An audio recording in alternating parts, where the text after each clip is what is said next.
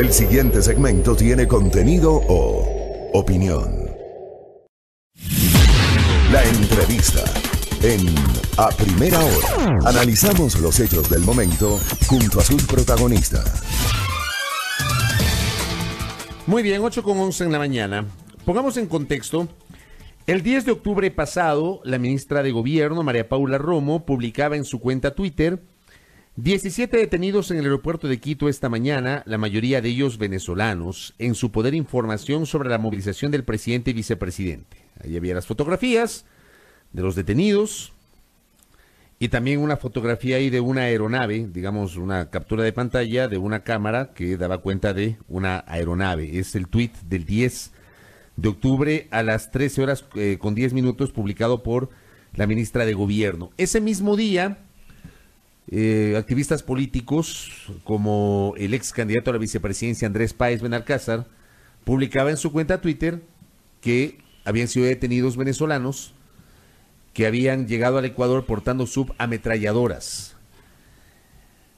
Poco tiempo después eh, se develó que los ciudadanos venezolanos que habían sido detenidos ese jueves 6 de octubre son conductores de Uber y Cabify. Ese tema fue abordado en nuestro comentario en su momento aquí en esta mesa de trabajo y es pertinente ampliar un poco los conceptos con eh, el periodista Jefferson Díaz, él es venezolano, y escribió un artículo para el eh, portal eh, alternativo La Barra Espaciadora que justamente relata lo que vivieron los venezolanos taxistas detenidos y que fueron inicialmente incriminados por supuestamente ser parte de un plan de desestabilización contra el gobierno del presidente Lenín Moreno. Jefferson nos acompaña acá. Bienvenido, qué gusto. Buenos días, gracias. Bueno, eh, relátanos un poquito cómo fue el acercamiento, cómo desarrollaste un poquito la investigación que desembocó en esta historia de la situación de los venezolanos que fueron detenidos inicialmente. Sí, eh, una vez que la ministra tuitea esa información, eh, yo estoy en varios grupos de no solo de periodistas, sino también de migrantes venezolanos por WhatsApp. Y me, una de estas personas por esos grupos me, escribe y me dice, eh, Jefferson, una de esas personas detenidas es familiar mío. Y lo que están publicando no es cierto. Esa persona, eh, bueno, eh, era un familiar de ella, es chofer de Uber, es chofer de, muchos de ellos también son choferes de Cabify. Y lo que están haciendo ahí es una irregularidad. Ahorita estamos pidiendo más información para ver qué es lo que está pasando pero el primer acercamiento fue así, o sea, me, llegaron varios mensajes por WhatsApp, no solo de esta persona, sino de dos más, indicando que, que bueno, que esas, esos detenidos eran choferes de Uber y Cabify. Y tú empezaste a, a indagar, a contrastar la información y llegaste a la conclusión de que sí, de que se trataba de una persona que se dedicaba estrictamente a la conducción de un, de un Uber. Sí, precisamente yo llamé, eh, eh, cuando me escribe esta primera persona, yo llamo, yo la llamo y le digo que me cuente la historia, que me diga bueno, qué es lo que está pasando, qué es lo que le han dicho. Ella me pasa los contactos de dos personas más, llamo a estas dos personas más y bueno, ahí voy uniendo los puntos y en definitiva estas personas no son lo que decía el ministro de gobierno, sino que son personas que siempre se la pasan, ustedes no sé si saben que en Uber y Cabify hay una cola virtual y estas personas se pasan siempre cerca de la gasolinera que está cerca del aeropuerto para estar de primeros en esa cola virtual porque si cogen la carrera desde el aeropuerto hasta Quito, bueno, les pagan un poco más. Entonces ellos siempre están ahí, siempre se reúnen en esa, en esa gasolinera. Ese fue motivo para que las autoridades que, tengo entendido, iban eh, a darle seguridad al vicepresidente Sonny Horner piensen que se trataba de una conspiración. Así es. Bueno, lo que se hace es un operativo de seguridad porque está llegando el vicepresidente o iba a llegar el vicepresidente y los policías lo catalogan en la parte policial como que estaban en una actitud inusual. Algo que no está tipificado en el COIP y por esa actitud inusual detienen a 19 personas. No habían sido 17, tú en la nota pones 19. Sí, al principio se dice 17, pero eran 19 personas porque 17 son venezolanos, uno era cubano y uno era ecuatoriano. Son 19 en total, eran 19 en total. ¿Y todos taxistas? Todos taxistas. ¿Los 19? Los 19, exactamente. Los 19. Y, ellos exclusivamente estaban en la zona por cuestiones asociadas a su trabajo. Sí, me, inclusive cuando yo empiezo a investigar, ya es tradición, ya las personas que salen del aeropuerto y están por el aeropuerto, saben que estas personas están ahí saben que estas personas siempre se reúnen en la gasolinera y es algo ya como común de las personas que, viajan, que hay venezolanos parqueados cerca de la gasolinera esperando coger las carreras de Uber y Cabify. Oye, cuando ellos, cuando ellos son detenidos, Jefferson, esto quisiera que les relates a la, a la gente, porque yo decía hace un momento en entrevista con César Ron de que probablemente hay gente que se pone a buen recaudo porque teme de que no se respete el debido proceso. Ah. Con estos compatriotas tuyos, ¿se respetó el debido proceso? Lo que nos comentaron los abogados defensores, porque una vez que a ellos los trasladan a la unidad de flagrancia aquí en Quito, los que nos comentaron los abogados defensores es que no se respetó el debido proceso. Ellos estuvieron muchas horas de rodillas, esposados. Eh, varios familiares me comentaron que también no les dieron agua ni comida durante todo ese primer día que estuvieron detenidos, sino hasta el día siguiente. Eh, los abogados defensores solo recibieron el parte policial 10 minutos antes de entrar a la audiencia de formulación de cargo. O sea, sí hubo varias irregularidades que lo, tanto los familiares como los abogados defensores me, comentaron y eso lo, comento en la nota en la barra espaciador. ¿Tú, conversaste con ellos posteriormente, con varios de ellos? Sí, sí. Yo, yo eh, el, jueves en la tarde yo me acerco a la unidad de flagrancia y conversé con los familiares, no solo con los tres primeros que me contactaron, sino con todos los que estaban ahí, porque eran muchísimos familiares. Pero luego digo, con los taxistas detenidos cuando recuperaron la libertad, ¿tú también conversas con ellos? Yo conversé con dos de ellos porque muchos, cuando los liberan, la mayoría, obviamente después de esta experiencia, no quieren saber absolutamente nada de esto, lo que quieren es seguir con sus vidas, pero pude conversar, conversar con dos de ellos y en efecto sí, o sea, ellos nos comentaban que, me comentaban que la policía no les decía por qué los detenía detenidos, no les decía si podían ver a sus familiares, no les decía, no les permitían ver a sus abogados. Entonces, claro, obviamente. Les quitaron los celulares, me imagino, ¿no? También le quitaron todos los celulares, las pertenencias. Después fue que le devolvieron, inclusive les, les incautaron los vehículos por un momento y después se los devolvieron.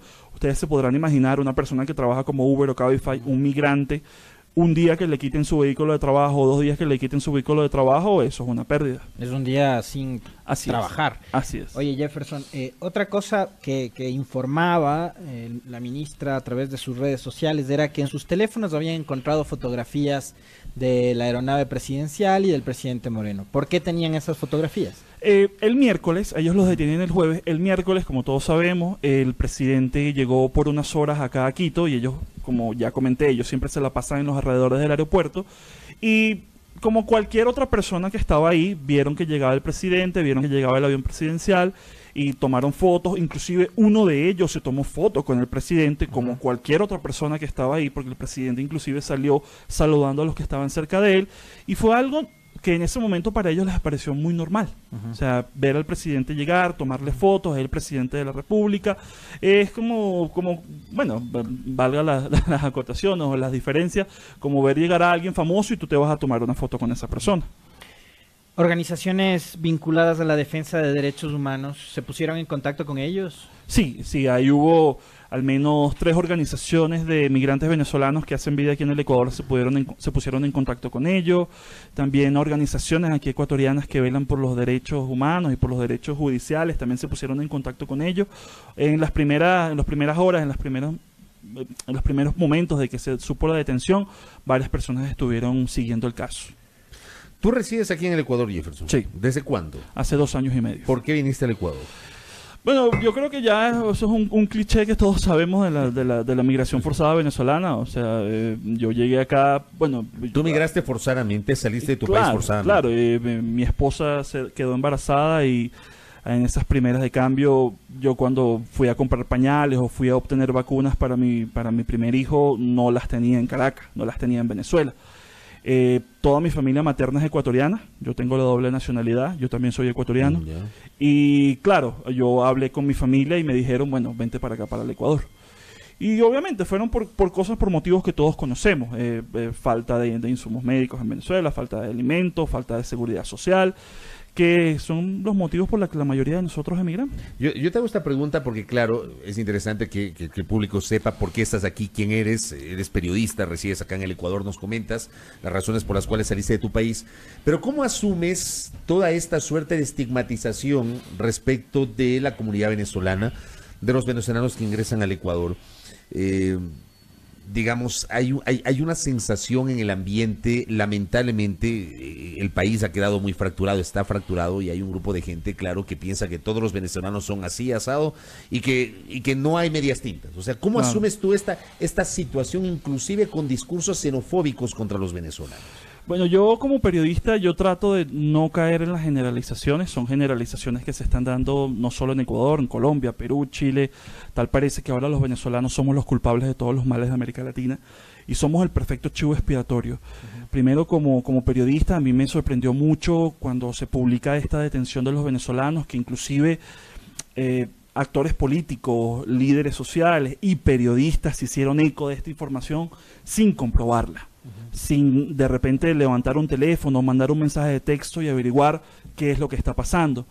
Luego también me preocupa de sobremanera que no solo los líderes del gobierno ecuatoriano, sino también los líderes del gobierno venezolano, cualquiera de los dos, tanto sea Maduro o el presidente encargado Guaidó, eh, también se hicieron eco de esta información de, de que están mandando a venezolanos a, hacer protestas, están mandando a venezolanos a todo el continente a desestabilizar. Y eso es una generalización. Eso, ¿Tú, qué piensas de eso? eso? no es así, porque... Esa declaración que hizo Moreno en Guayaquil, eh, Jefferson, en donde dijo que Maduro envió 200 o 300 criminales ah. venezolanos. Ah. ¿Cómo, asumiste tú esa declaración de Moreno? O sea, primero, eh, yo como, como periodista, lo primero que tenemos que, saber es, ok, usted, usted está haciendo una declaración, ¿qué pruebas tiene sobre esta declaración? Porque yo no me puedo quedar con la versión oficial, yo no me puedo quedar con lo que diga la ministra de Gobierno, con lo que diga el presidente, con lo que dice el vicepresidente. Si bien son fuentes oficiales, yo tengo que contrastar la información, darle contexto a la información. Y eso fue lo primero que yo pensé, ok, eh, hay una fuente oficial que está diciendo que hay 200 venezolanos aquí en el Ecuador causando disturbios, causando malestar, lo que sea.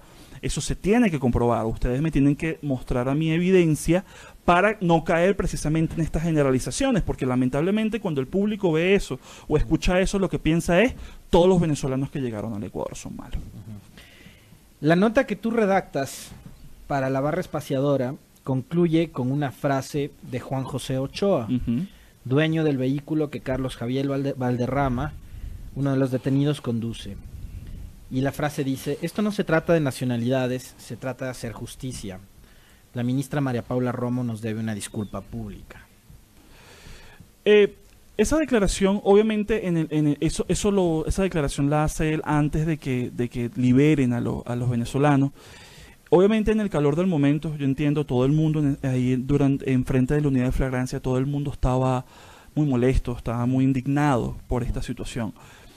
Eh, ellos creo que una organización acá los iba a ayudar a ellos para hacer, hacer una denuncia en contra del Ministerio de Gobierno y pedir estas disculpas públicas. Pero yo lo que sí creo es que se tiene que, se, tiene que hacer una revisión tanto desde el gobierno como desde los medios de comunicación para desmontar estos discursos de chivos expiatorios, de generalidades, de que solo la migración, solo los migrantes son los que están ocasionando toda esta situación.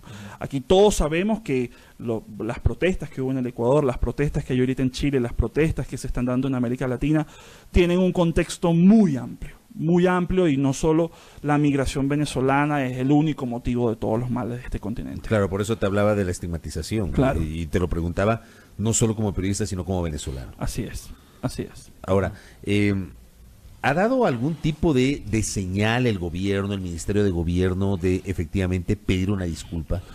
Mira, hasta los momentos no. Sé, sé que hace dos días o tres días, no estoy muy claro con la fecha, la ministra de Gobierno dio una, eh, de una entrevista en Guayaquil e indicó que, bueno, que si ella estuviera en otro país y estuviera en una situación de migrante o no estuviera ilegal, ella tuviera palabras más, palabras menos, tuviera cuidado con lo que dice y con lo que opina. Entonces, claro, uno no puede hacer más si desde las altas esferas del gobierno se está diciendo esto, eh, sino trabajar desde nuestras trincheras como periodistas, como líderes sociales, como personas que velamos por los derechos de los migrantes, de desmontar, vuelvo y repito, estos discursos generalistas, estos discursos que lo único que hacen es ponernos a todos en un mismo saco. Ahora, evidentemente en el rol del periodista, el periodista efectivamente tiene una versión, busca contrastar esa versión ¿Buscaste a la ministra de Gobierno? ¿Trataste de hablar con ella? Eh, lo que tratamos fue de... Ella da una rueda de prensa eh, esa misma noche, el jueves, Y obviamente ahí estábamos esperando una rueda de prensa que por cierto dijo que iba a ser una hora y fue muchas horas después. Eh, y estábamos esperando que se pronunciara acerca de, esa situación. Pero nada todavía. Pero nada todavía. La coyuntura en ese momento obviamente era el paro, eran las protestas. Y lo único que dijo fue que a esas personas, que eso sí nos causó bastante suspicacia, que a estas personas detenían en el aeropuerto, lo único que se le había encontrado era un cuchillo, un bat un bate de, un bate de béisbol y una, una sustancia estupefaciente. ¿Y en un venezolano un bate de béisbol? Claro, obvio, obvio. O sea, el béisbol es el deporte nacional, ¿no? En Venezuela. Pero eh, eso no, ahí fue, ahí fue el primer desmontaje porque ahí ya no eran subametralladoras, ahí no era armamento de guerra, ahí no era que estaban llegando infiltrados, sino que ahí ya se bajó el tono de la declaración y el tono de lo que se publicó inicialmente en su cuenta de Twitter. Oye, eh, dejando un poco de lado ese tema eh, relacionado con la detención, tú eres periodista de, profesión, sabes mucho sobre este oficio.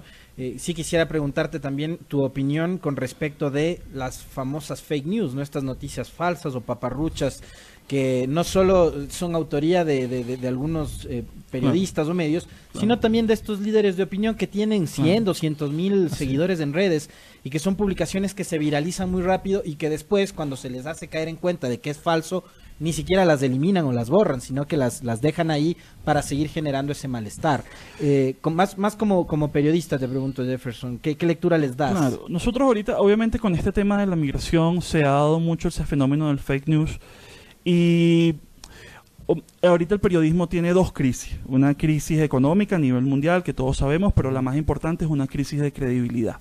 Entonces cuando tenemos estas crisis de credibilidad, aparecen estos influencers, estos líderes de opinión, con, o estos centros, estos troll centers que todos conocemos, tanto en Ecuador como en Venezuela. Sí, precisamente. Entonces, eh, nosotros como periodistas, nosotros somos curadores de contenido. Entonces, precisamente con esos curadores de contenido, nosotros tenemos la responsabilidad de comprobar, recomprobar y volver a comprobar todo lo que publicamos y todo lo que decimos.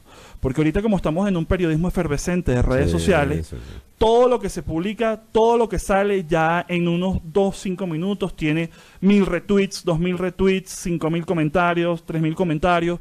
Entonces, eh, cabe, cabe destacar ahí que tenemos que tener muchísimo cuidado con lo que publicamos y muchísimo cuidado con lo que compartimos. Por eso es que yo decía anteriormente, a mí me, sorprendió mucho y me, me, decepcionó mucho el hecho de que aquí, con el tema de los venezolanos y con el tema de su detención en el aeropuerto, muchos periodistas y muchos líderes de opinión y muchos políticos también se hicieron eco de esa noticia sin primero comprobar la información. Yo pregunto, ¿esa gente no tiene un equipo de comunicación que trabaje para ellos y les diga, ya va, un momento, vamos a comprobar esta información? Personas que tienen acceso más directo a, los entes del gobierno o a los líderes del gobierno y preguntar con una simple llamada telefónica, un mensaje de WhatsApp, ya va, ¿esto qué pasó? ¿Es cierto? ¿Cómo pasó? ¿Cuál es el contexto de esta información?